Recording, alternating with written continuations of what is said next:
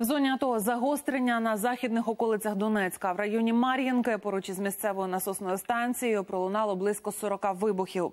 Бойові дії тривають, обладнання станції не працює. Можливості евакуювати людей поки що немає. Написав у Фейсбуці керівник обладміністрації Павло Жебрівський. Минулої доби бойовики понад 70 разів відкривали вогонь по позиціях захисників. З них майже половина з великого калібру. Біля Кримського і Новотошківського на Луганщині бойовики намагалися захопити опорні пункти сил АТО. Ворог застосовував важку артилерію, і міномети. Двоє українських бійців загинули, 11 поранені. Втрати російських окупантів 11 вбитих, 14 поранених. Дедалі частіше бойовики обстрілюють цивільні об'єкти. Напередодні кілька ворожих снарядів залетіло до Новолуганського.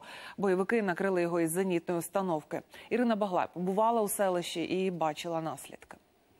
Сидим мы на лавочке, потом взрывы, выстрелы. Все по домам.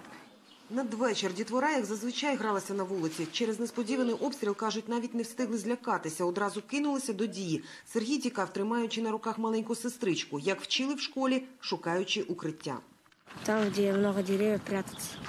Діти в Новолуганському не звикли до стрілянини. Та останнім часом батьки за межі подвір'я їх не пускають. От поворота до поворота разрешили гулять.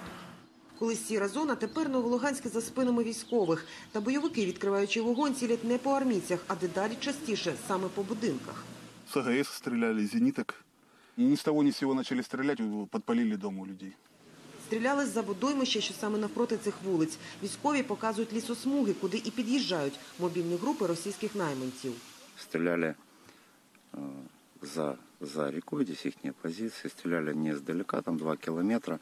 30-миллиметровый такой снаряд крупный, летит напрямую там, ну, до 2 километров спокойно. А есть боеприпасы, и вот мы находили такие там вольфрамовый наконечник в середине, бронебойный э, звучный снаряд. Это вещь, которая в принципе летит до 5 километров. Так вот, вот куда прицелился, стрельнул, он туда и полетело. То есть прямой бой 2 километра. Здесь как раз дистанция до позиции врага получается где-то, ну, как раз вот 1600-1700 метров. Військові переконані, такі обстріли мають на меті єдине – викликати невдоволення місцевих жителів та налаштувати їх проти українських армійців. Разговаривали утром с одним из местных, такой что-то ярый такой дяденька, хот- который перед этим буквально там, не знаю, там молоко нам приносил, там, там еще что-то. И он такой, а, это специально, чтобы вы ушли, вы должны уйти, если вы уйдете, по нам стрелять не будут. То есть пошла какая-то новая волна. Один з уламків перебив газопровід. перекрыли улицу. Сейчас будем устранять пробоину. А що там? Ну, осколком пробило этот самый коллектор газовый.